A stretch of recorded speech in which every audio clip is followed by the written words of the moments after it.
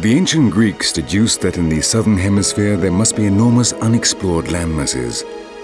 A mysterious place full of gold with an ideal climate and docile natives. Spanish and Portuguese explorers searched in vain for this lost continent, which by this time everyone was calling Terra Australis Incognita.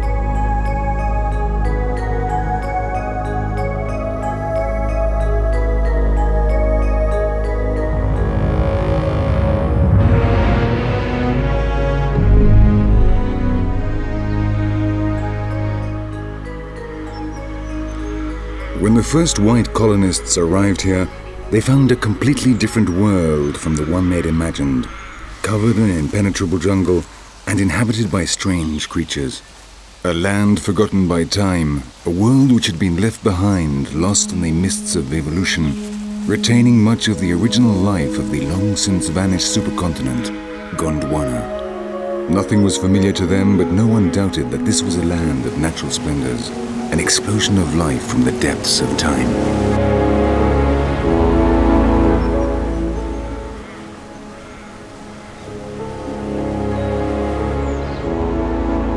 This is the story of a land caught in its own bubble, which was suddenly invaded by outsiders. It is the story of the last creatures of independent evolution, the only modern descendants of those who lost in the strange game of evolution.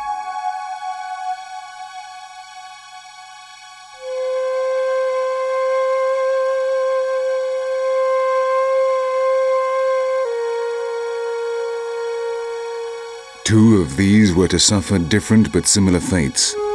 Both were to become living or extinct legends. We are going to an island where no one is safe.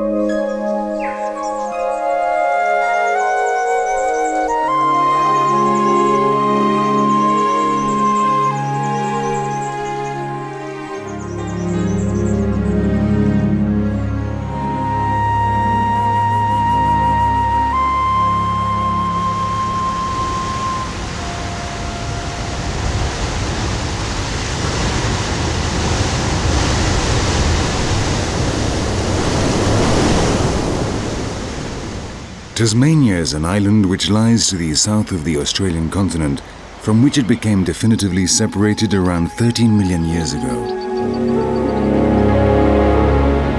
This isolation occurred after thousands of years of shared evolution, meaning that Tasmania has to this day conserved relics of the primeval universal forest which once stretched right around the world some 250 million years ago.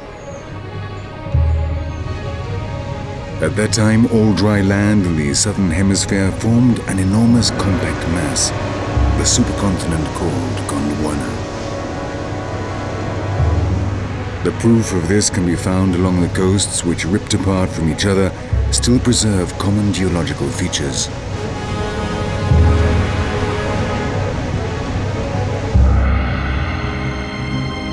Gondwana included the present lands of Australia, the Antarctic, Africa, South America and India. The breakup of the supercontinent brought great changes. Titanic forces created new seas, moving continents and cooling the climate. Australia, along with Tasmania, drifted to east of the Antarctic.